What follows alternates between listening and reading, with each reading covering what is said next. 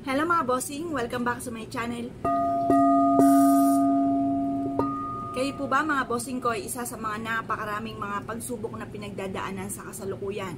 Unang-una tungkol sa usaping pera. Pangalawa, buhay pag-ibig. Pangatlo, magulong pamilya, lalo-lalo na mga pasaway na anak. Pang-apat, ang dami yung nirakit pero sa ulat wala ang inyong pong pagrakit.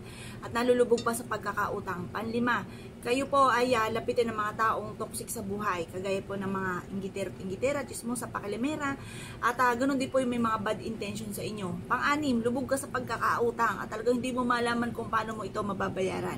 Napakahirap ng ganyan sitwasyon. Lahat po yung pinagdaanan ko po yan mga bossing. Ngayon po mga bossing, masasabi ko lang po sa inyo po mga bossing, kailangan kukontrahin natin yung mga ganyang nakakalumo na problema, yung bang panghinaan ka ng loob. Kailangan po mga bossing ko, i-mindset po natin natin sa isipan na kaya ko to, malalampasan ko to, lahat ng mga problema ko pinagdadaanan, lahat yan ay marireverse instead na problema, kamalasan, puro swerte darating sa akin. Masusolusyonan ang lahat ng problema at hindi ko na muli ito makakamtan pa. Ganun po, kukontrahin nyo. Kayo po mismo kukontra po niyan. Kasi once na winelcome nyo yan sa isipan nyo, lalo kayong panghihinaan ng loob mga bossing. Ngayon pa mga bossing, at magkakaroon pa kayo ng peace of mind kapag kinukontra nyo yan. Kasi once na magulo yung isipan ninyo, ang dami yung problema, ina-accept nyo pa na yung negative mga bossing, hindi kayo magkakaroon ng kapayapaan ng isipan, hindi ka makakatulog, dadalihin ka na niyan yung tipo na magkakaroon ka ng vertigo, sakit, or kaya uh, magkakaroon ka ng insomnia, yung mga ganyan mga bossing, maapektuhan na ang ating kalusugan at ganoon din po maaaring mauwi sa depression. Kaya maina mga bossing ko, subukan niyo po ito kung kayo po ay maraming problema pinagdadaanan. Basta huwag kang makakalimot magdasal, i-release niyo yan nasa kalooban ninyo, iiyak niyo po yan, huwag niyo pabibigatin yung inyong kalooban. Ngayon po mga bossing, kung kayo pinaniniwala sa mga ganitong pamamaraan, saktong-sakto bukas, bukas po ay full moon, February 16. Mainam na subukan nyo po itong gawin. Kaya kung kayo pinaniniwala sa mga itong pamamaraan, ang video ito ay para po sa inyo.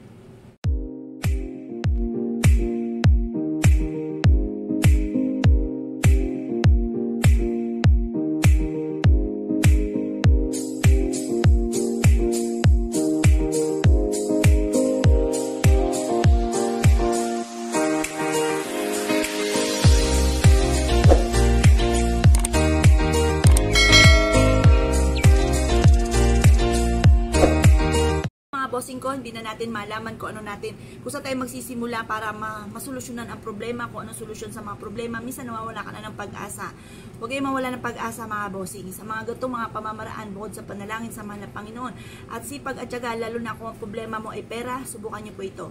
Kumuha kayo ng isang basong tubig, huwag niyong aapawin, panakto lamang. Pagtapos ito mga bossing, pero kung may tubig ulan sa inyo at umuulan, tubig ulan na malinis. Kasi pag mga nagmula sa kalikasan na tubig, uh, tubig ulan, sa dagat, sa ilog, basta kaya importante malinis, yan po yung napakaswerte po niya kasi nagmula yan sa kalikasan mga bossing. Ngayon po mga bossing, kumuha ka ng isang malinis na papel, humarap ka sa may silangan, alas 7 ng gabi or alas 8 ng gabi, gagawin niyo po siya. Uupo kayo at nakatingin kayo sa liwanag po ng buwan. I-wish na lahat ng mga mga yung ayaw niyo na maganap sa buhay ninyo kagaya ng pagkakalubog sa pagkakautang. Ikaw po ay maraming mga taong nakapaligid sa inyo ng mga toxic sa buhay ninyo na nape-pressure ka na at naapektuhan ka. I-wish po dito na matapos na kung ano man ang mga problema pinagdadaanan. Unahin po muna natin mga bossing ko yung yung mga pagsubok ha? Gawin nyo po ilag idip nyo po ito sa tubig. Ibilad nyo po siya sa sinag po ng buwan.